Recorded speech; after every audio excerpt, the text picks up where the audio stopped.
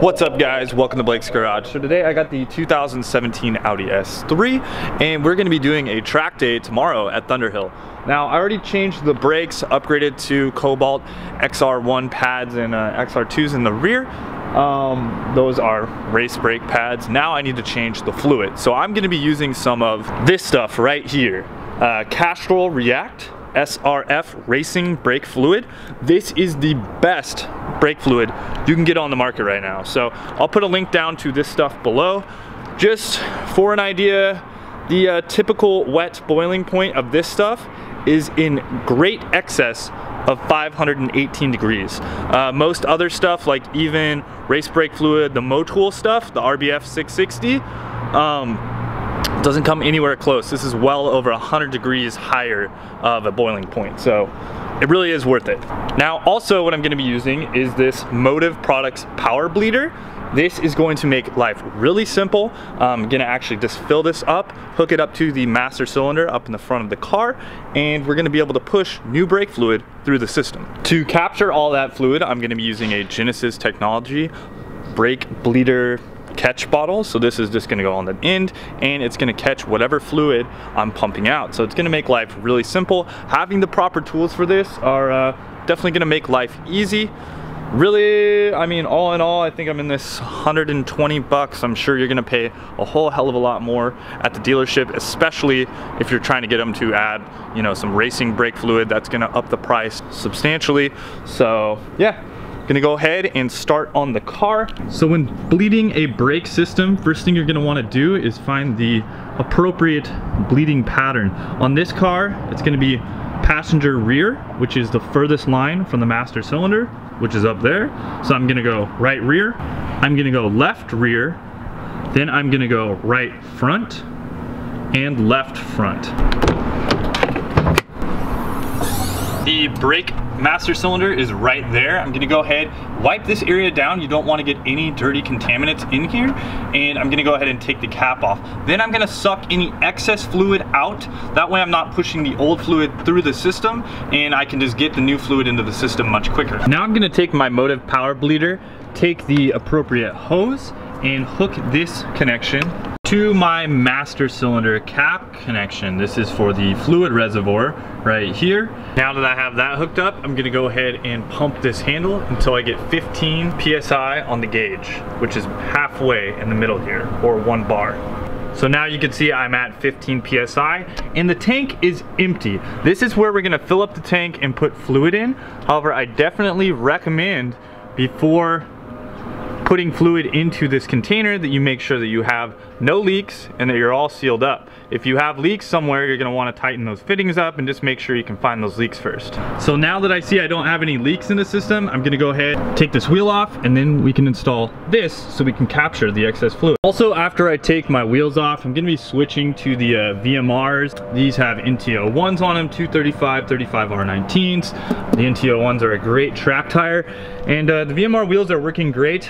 You do wanna take the center caps out, however, because when tracking a car, you run into issues with heat from the brakes. As you can see right here, it actually melted that last track day. And you can see these areas right here are all melted too. So these were actually gonna fly off. They do recommend taking this out. However, I was in Monterey and I did not have a jack with me. So yeah, that's something you're gonna wanna do if you have a track day coming up. Okay, so with the wheel off, you can see I'm at my back rotor. Now these have a nice little cap that protects the bleeder from getting any dust or grime in it, which is definitely good. After that, you wanna find your bleeder and then you need to find the appropriate wrench. All right, so as you can see, I got my brake bleeder wrench over the top here. Now I'm gonna go ahead and attach the catch can.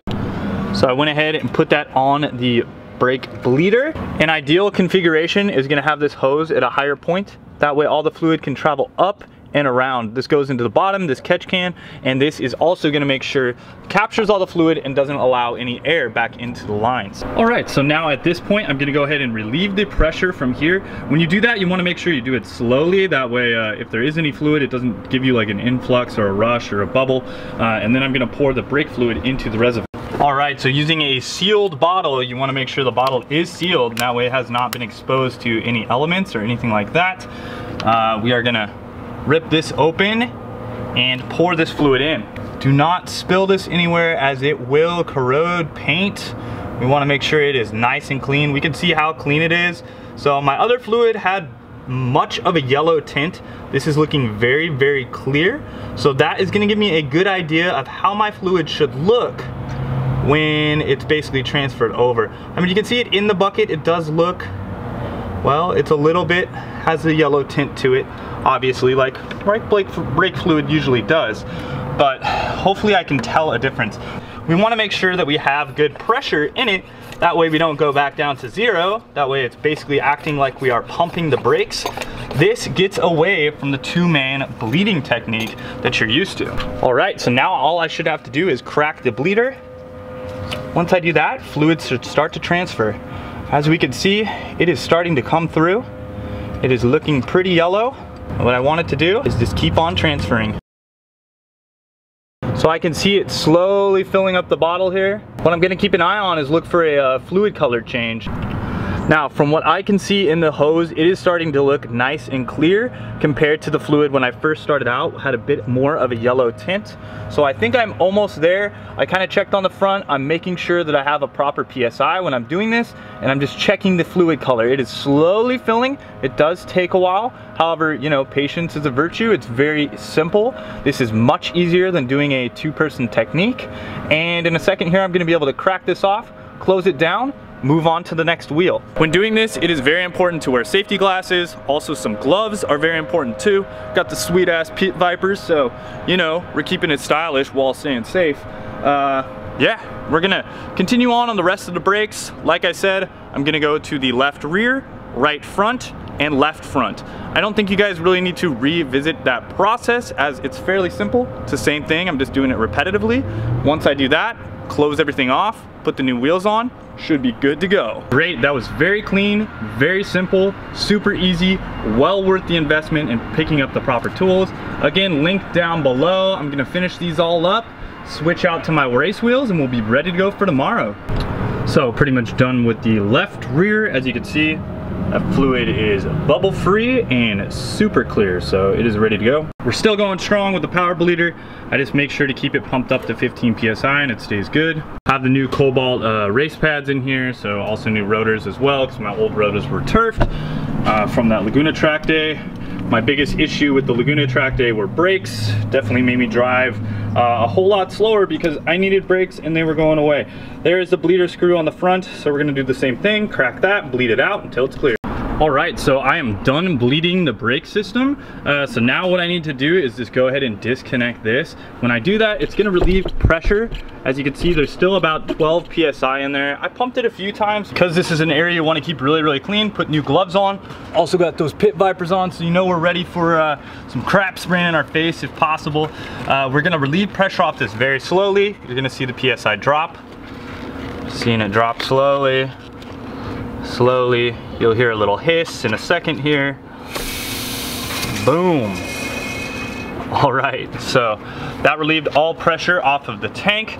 Now what we got is we got this right here. So we wanna make sure we be careful with this while removing the cap because as you can see right down there, there's still a bit of brake fluid in it. So we wanna make sure that we're uh, not dripping that over anything because brake fluid is very, very corrosive and we don't wanna get it on any paint any of this nice carbon fiber or anything like that. All right, so I'm gonna kind of just let that hang out for a second here. Uh, that way it can drip back into the fluid reservoir and I can uh, clean this out. You use denatured alcohol for cleaning this. You wanna get it all through there as brake fluid is very corrosive. All right, so brake fluid is all cleaned up. Uh, the one thing I could still do to this car to help out, and I may do in the future, is replace it to some steel braided brake lines. Um, this process is gonna be made so much simpler by that brake bleeder wow, I mean, that thing's awesome. I think kind of everybody knows that bleeding brakes is one of the most pain in the ass things to do on a car. Um, it just, it's just one of those things, you usually need two people, but this made it amazing. I would highly recommend this product. Drop down on the link below, pick one of these up guys if you plan on doing anything to your braking system. Uh, this was for European models, it worked for like BMWs, Audi, Fiat, all that type of stuff. Uh, but you can get a domestic one, works on GM, Ford, all of that too. So I'll put both of those descriptions down there and links to those. Helps out my channel if you guys buy those from my links. And uh, thanks a lot guys, thanks for watching. Talk to you soon, later, and wrench on.